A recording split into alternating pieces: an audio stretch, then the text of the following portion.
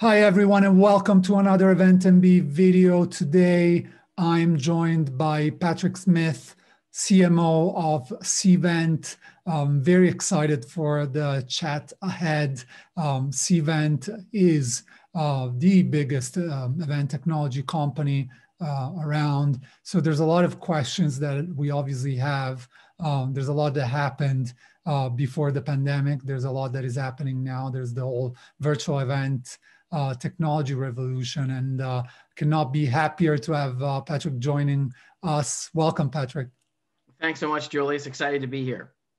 So obviously, um, I had a chat um, a little while ago uh, with Reggie Aggarwal, uh, CEO of Cvent, and uh, he kind of we were still in the summer. He kind of was laying the path ahead for what was coming on. But before we do that, I guess I wanted to ask you what's what's been 2020 uh, for for Cvent. yeah, you know, how many words can we be cliche about here? Unprecedented. right. um, you know, that that's probably the word I would use that a lot of other people have used. Um, you know, it was an unprecedented year in many respects. I mean, um, for us, it was in many ways a year of focusing on the fundamentals, specifically our customers, employees. Um, you know, when the pandemic started really hitting in March, you know, we we're doing all we can to help our customers out in a time of need financially, to give them the industry skills and Cvent training that they need to navigate through this new world of events, whether that's um, you know how I think about my event program now going to virtual or when I should start sourcing again. All these things, you know, we really opened up our, our training and certification to anyone for free across the industry. And it was also about helping our employees navigate through the pandemic professionally and personally. They didn't have that connection at work. Uh, people had different setups at home in terms of how they can work together. So it was a year of focusing on the fundamentals. I'd also say it was a year of grit and of pivoting and reacting quickly to what was going on around us. You know, for an example, leading our marketing team, our messaging, our content, our campaigns had to completely change last March. So all of our plans had to change. What we were telling the industry had to change because we had to react to what was going on. And it was also, I think, a year of transformation as we quickly launched a full virtual platform and created the largest, fastest growing segment of our business in our history at the same time. And, and also launched our product at our Connect event in August, um, which happened to be the largest gathering of meetings and event professionals in history. So we showcased a new product for the first time uh, in front of that huge group of people. So it was a year of transformation as well. So lots of things rolled into 2020. We're glad it's over uh, but we have a lot of momentum heading into 2021. You said it. We're, we're all glad it's over, but we're dealing with a 2021 that it's starting with some some uh, a few uh, punches as well, I guess, in terms of uncertainty and what's yep. coming ahead. I guess one of the most important things um, um, that the audience wants right now is a little bit of vision and anticipation. Obviously, Cvent is extremely well positioned uh, when it gets to understanding the dynamics of the market, not only because it's a big company that deals with a lot of meetings, but also because your product portfolio is very diverse. So you have a lot of insights for what regards venues, uh, meeting planners, um, and and the likes. So, what is the year ahead? What can you tell us about what, what we're facing here? Yeah, 2021, I think it's really going to be defined by um, you know how much progress we make with the vaccine and the pandemic. Of course, I think it's going to be a year of transition, uh, but also another year of uncertainty. I, I, don't think anyone knows how fast things are going to be rolled out, um, when everyone's going to feel comfortable going back to in-person meetings. Um, but it's going to be a year of transition. And but the good news is we have a light at the end of the tunnel. I think that's what we didn't have throughout a lot of 2020, but we do now. Um, and but we're still going to have many months of experience, um, you know, dealing with pandemic conditions ahead of us. But using a lot of what we learned in 2020, hopefully. Um, the one good thing is I think organizations are much better equipped to put on virtual events now. They will remain, uh, especially in the first half of this year, um, as the primary way to meet. So um, I think we're much better equipped as an industry to put on good virtual events. But I also think organizations are going to have an eye to when in-person events are coming back and they're going to need to determine when to factor those into their event programs. Is it the back half of the year? Do I want to do a hybrid event where I, I capitalize on the huge audience virtually, but also have an in-person element? Um, but then thinking about 2022 and getting ahead of um, in-person meetings when everyone wants to source again and, and have meetings is something they have to consider.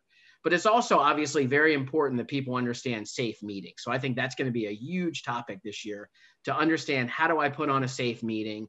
Um, how do I lay out my space so I have proper social distancing, rethinking meals, and all those sorts of things? And then how do I pull off a hybrid event if I choose to do that um, when it's safe to do so? So, more questions, I think, again in 2021, but hopefully with a light at the end of the tunnel, with better experiences behind us, and also with an eye to when in person comes back. That's what we see is going to happen uh, throughout this year.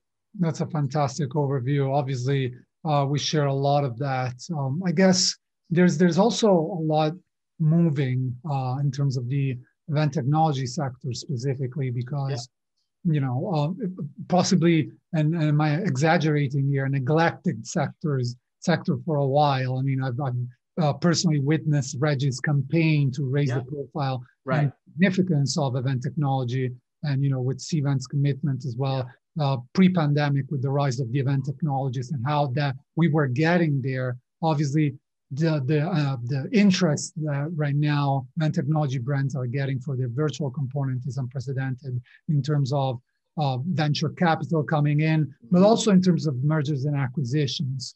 Um, if we think back, Cvent was probably the most active pre-pandemic in terms of acquiring new companies, especially in the event app segment. Uh, how has that changed for you uh, sure. all, and what's what's the plan ahead? Yep. Yeah great question. You know we've been very acquisitive over the years as you pointed out um, and it will still be a core part of our strategy to add additional talent and capabilities to our company. You know but in a pandemic year in 2020 as i mentioned it was all about the fundamentals. It was about hunkering down really helping our customers employees and the industry navigate the pandemic waters. So our immediate focus was elsewhere um, that's why we, we didn't do um, any acquisitions last year because we were really focused uh, in, in large part on just getting through um, the situation and focusing on the fundamentals. But with the outlook improving and with the need to meet more important and needed than ever, you know, I'd expect that that M&A momentum will pick up on our side. That's awesome. And, uh, you know, good, good news for Event Tech, I guess, you know.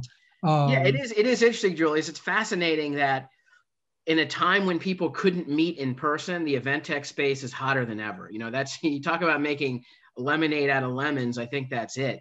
Uh, and it really focuses on the innate desire to meet that we all have, and that that I think shined through in spades in 2020. Of course, and, and you know, as EventMB, we we tend to talk a lot about uh, meeting planners and their needs and how technology can help. Uh, but uh, we're probably a lot of us in the events industry is forgetting about the impact that venues specifically are having uh, for you know the in-person component. They're the most hit. Uh, yep. you know, at least like uh, meeting planners have an opportunity to pivot uh, yep. to virtual. A lot of people in the event industry don't. Suppliers, specifically and venues, obviously being in the core of that.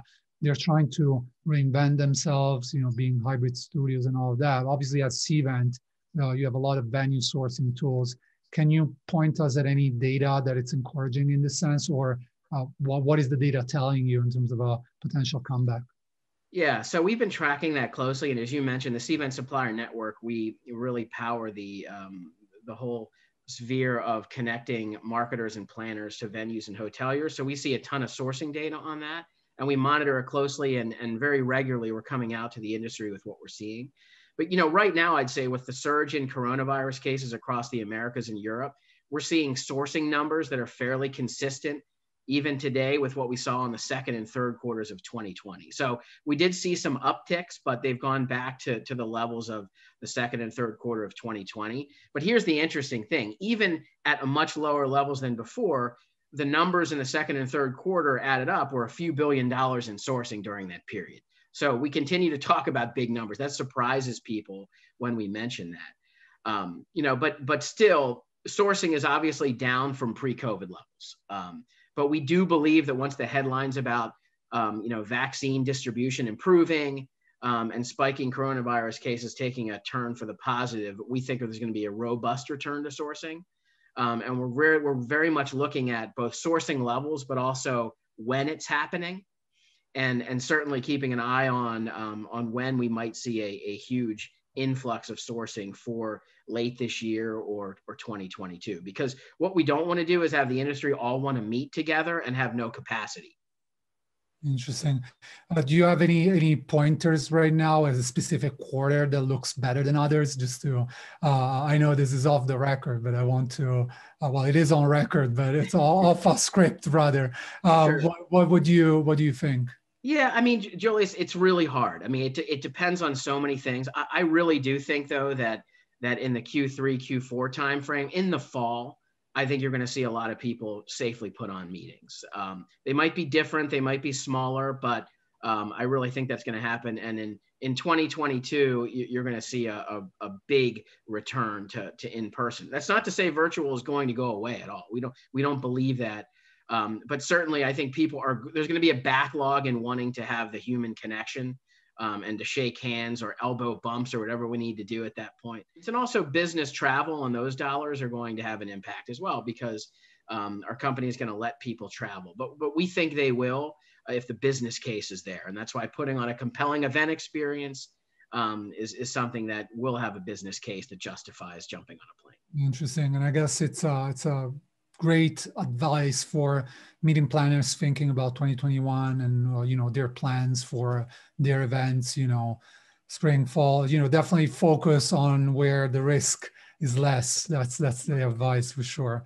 Um, so let's talk virtual. Obviously cvent is committed to virtual. You've uh, created a suite of tools in that sense. I asked reggie back uh, the beginning of the virtual revolution, uh, we were already talking about Zoom fatigue. Mm-hmm. Uh, what is uh, what is the state right now? What what do you see are the trends that kind of uh, are uh, impacting virtual in terms of the attendee experience and consumption of virtual events? Yeah, so you know, it's a great question. I think clearly the space is hot, as your recent article pointed out um, you know, everyone still has to live with attending meetings each day from behind their screen. So I guess the question of whether are people tired of virtual events? If, if you're tired of being behind a screen, then you'll be tired of virtual events, but you'll be tired of just about everything else too, because that that's the world we're at. So it really all comes down to the right content and and being able to have an engaging experience. You know, is your content interesting enough that it's worth people's precious time to attend? That are you going to learn and be inspired? Is it worth it for you to learn a tip or trick that can change your business or to inspire your team? Can you interact with others um, you know on a virtual platform to ask questions and chat and those sorts of things? If, if you can have an experience that is compelling is interesting teaches you things allows you to meet other people and connect that way then um, virtual events are, are going to be, you know, certainly attended and demanded in the industry. And, and that's, I think, the organizations that know how to do it right um, have really leveraged those factors. And obviously, you need a technology platform to enable you to do that. Um, I think one of the things is we've learned a lot about how to structure virtual events. You know, just because someone's behind a computer screen doesn't mean they don't need breaks in many cases, you might think you can have longer sessions because you don't have to travel to another room. We find it's even better to have shorter sessions because of Zoom fatigue. Um, you know, we think about high production values and giving people the the great way to showcase their content and the production tools to allow their event to shine through a computer screen. So you have to think about TV shows and high production values and those sorts of things. Um, and, and that's what makes a, a virtual event great. But at the end of the day, if the question is, are virtual events here to stay or are they just a passing fad? We think they're going to be here to stay. But the key is threading them into your full events program thoughtfully. Because the answer isn't to go all virtual. The answer isn't to go all in person.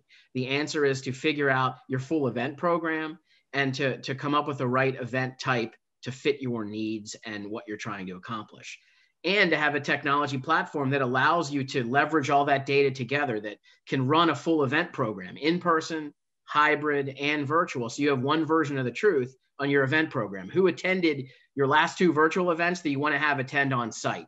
Who attended on site that would be great for your next virtual series that you're having? Those sorts of of, of intertwined information is, is what's going to, to really rule the day, we think, in the future. Um, so the state of virtual events still hot will remain important, but aren't going to take the place of in person events forever. It's fantastic. It's almost like we're heading towards a redefinition of experience design that mm-hmm. uh, keeps uh, virtual in mind as well.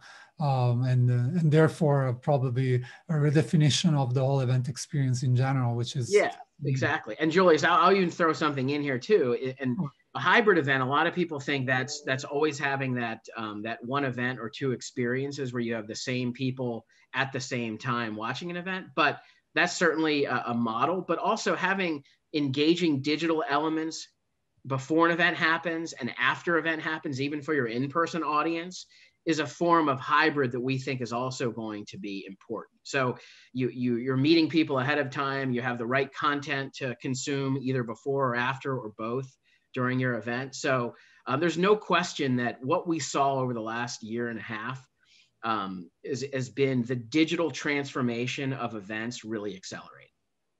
And that understanding that events can be digitized, that's the best thing to come out of this virtual event landscape, the great data that I can get. And that's going to be a best practice that people who haven't leveraged it for in person events will leverage in the future, having technology power what's going on with your attendees so you can understand patterns and data and so forth. Um, that's going to be really important. So digitization is what software does. We've needed it in the event tech space. We've been in that space for a while as Cvent, but the rise of virtual events has meant the digitization of events, which we think is a great thing for all event types, including in person. Yeah, no, that's a that's a fascinating concept, and obviously, when a lot of people are finding a uh, short-term solution. A lot of those uh, planners are focused on just the experience as such and ease of implementation. But in the long run, uh, the data has to come back. Otherwise, there's no uh, business justification for what we're doing. So.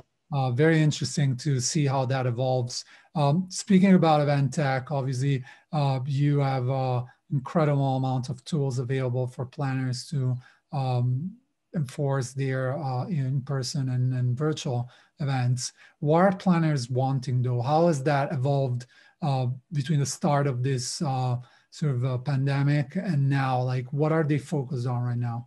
Yeah, so so planners um, really have a mission to build and or deepen a relationship with their audience. I mean, that's that's why we meet is to build relationships and get information across. So you do that by providing engaging content building a community that each audience member can participate in and gain value and and building a community that a sponsor wants to tap into uh, as well you know so you can monetize your events.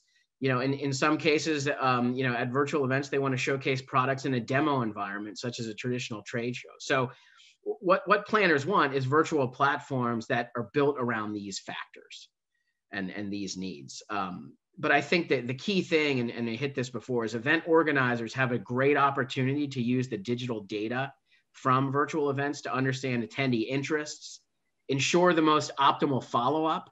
When you take your data, if you're running events for sales and marketing reasons and you take great attendee information, you can quickly act on that um, for the best follow up, whether that's the next best sales action or a customer that's showing interest in something or has an issue that you want to solve, seeing what they're interested in can give you that information to follow up quickly and effectively. And also does you can design your next event better with what you learned. And you know, leveraging data is a foundational element in our virtual platform, the Cvent Virtual Attendee Hub. You know, you can capture a ton of unique attendee data that seamlessly rolls into our attendee engagement score. Um, so it's it's really important that you think about a virtual platform and any event tech platform from a data perspective and what it can give you that informs attendee interests um, and how to build the next great event that's that's fantastic and i guess it goes back also uh, to you know one of the most exciting uh, papers you released last year about the rise of the event technologist and right. how uh, you know the profession of some meeting planners that may be out of work as well right now it's pivoting to that and creating a strategic value through the use of data or asynchronous attendance as well uh, for attendees to enjoy and how that can become a key player, uh, uh, a key tool in the B2B marketing uh, portfolio. So very fascinating. Yeah. Uh, Patrick, we're out of time. Um, I cannot thank you enough for um, sharing with us your insight. Um, we obviously want everybody to check um, the suite of tools and information and accreditation that Cvent is uh, um, helping the industry with right now. Thank you a lot for uh, your leadership and for shipping amazing products. Yeah, thank you, Julius. It's a pleasure being on your program, and uh, best of luck to you and the industry uh, in 2021.